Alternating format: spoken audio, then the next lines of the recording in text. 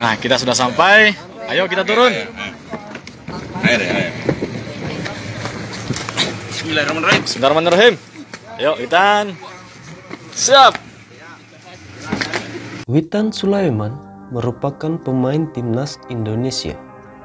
Ia mendapatkan hadiah satu unit rumah dari Gubernur Sulawesi Tengah Rusdi Mastura sebagaimana janjinya akan memberi hadiah kepada Witan berupa satu unit rumah apabila memenangkan kejuaraan AFF 2020. Namun, meski Witan dan kawan-kawan kalah saat melawan Thailand dalam final Piala AFF 2020, tetapi gubernur tetap memberikan hadiah rumah BTN Kelapa Gading yang berada di Kecamatan Biromaru, Kabupaten Sigi. Adapun penyerahan hadiah rumah tersebut diwakili oleh Ketua KONI Sulteng Nizar Rahmati pada hari Jumat 7 Januari 2022 dan dihadiri langsung oleh Witan yang didampingi orang tuanya.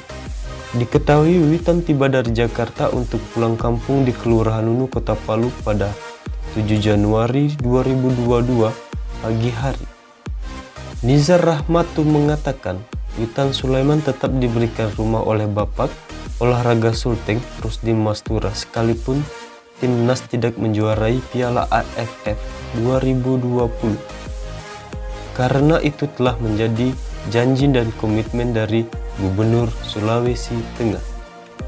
Menurutnya, jauh hari sebelumnya, rumah ini telah disiapkan Gubernur dan Ketua Pokja Sulteng Emas Roni Tanusaputra.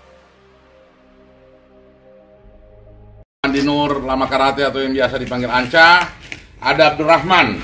Abdurrahman Darwin ini peraih medali emas PON Taekwondo. Ada Witan Sulaiman.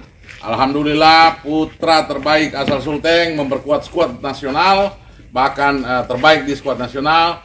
Hari ini Bapak Gubernur, Bapak Olahraga Sulawesi Tengah, eh, CO eh, Persipal Palu, Bapak Roni Tanusa Putra mewujudkan yang namanya rumah satu unit untuk Witan Sulaiman melalui KONI Provinsi Sulawesi Tengah. Tidak main-main kami uh, di Perum Kelapa Gading ini, alhamdulillah dua putra terbaik Sulawesi Tengah ini yang meraih prestasi ini berhadapan uh, jadi tetangga di Perum Kelapa Gading, uh, salah satu perum yang terbaik, perumahan yang terbaik di wilayah Kota Palu dan Kabupaten Sigi. Ini karena berdekatan berbatasan langsung dengan Kota Palu. Alhamdulillah ini sah menjadi milik mereka. Nanti uh, sertifikat sudah dipegang Abdurrahman ya? Sudah lama ya? Sudah lama. Sudah lama. Ini Witan akan diserahkan langsung oleh Bapak Gubernur di hari Minggu malam. Insya Allah bersama keluarganya. Terima kasih. Kita hanya mau kasih tahu kepada putra-putri bahwa olahraga lagi tidak main-main. Olahraga juga menjanjikan masa depan. Untuk itu terus berlatih semangat. Terima kasih. Pak Karoso. Pak Karoso.